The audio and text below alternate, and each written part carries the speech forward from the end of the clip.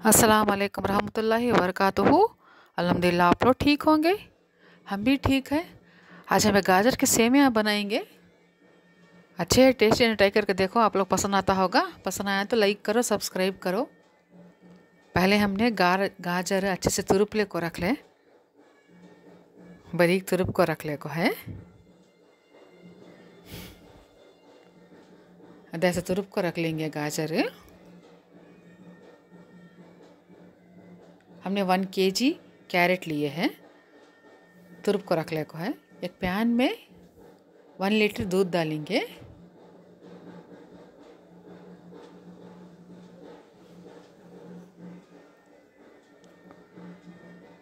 उसमें अच्छे carat add कर डालेंगे। दूध, कैरेट दो भी मिल को बॉयल होता।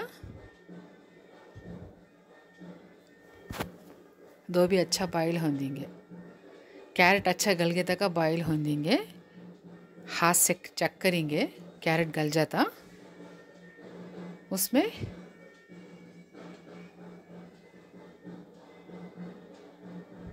शुगर ऐड कर डालेंगे। शुगर आपके हिसाब से डाल सकते हैं।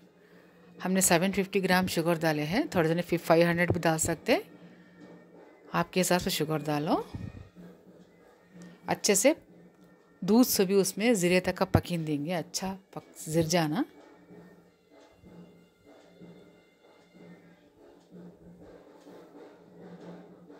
ऐसा पकने से टेस्ट ज़्यादा था।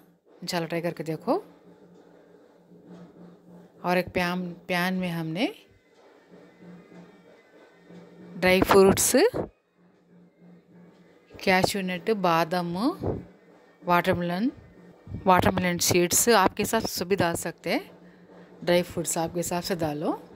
घी में अच्छा फ्राई कर देंगे। कलर चेंज होता का उसमें थोड़ी इलायची भी ऐड कर डालेंगे। थ्री या फोर रेडी हो पास स्टव ऑफ़ कर डालेंगे। ये उठा को पकता है, सो गाजर के सेमिया में ऐड कर डालेंगे। बहुत खुशबू आती, बहुत अच्छा है टेस्टी है।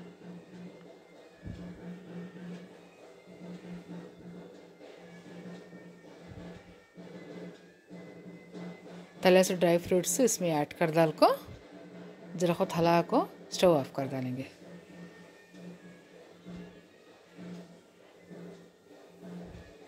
स्वीट रेसिपी अच्छी हेल्दी रेसिपी है, आप लोग ट्राई करके देखो।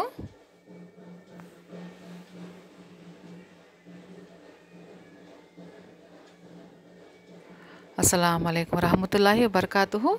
जज़ाकल्लाहु खैर। दुआ में याद करो। शुक्रिया।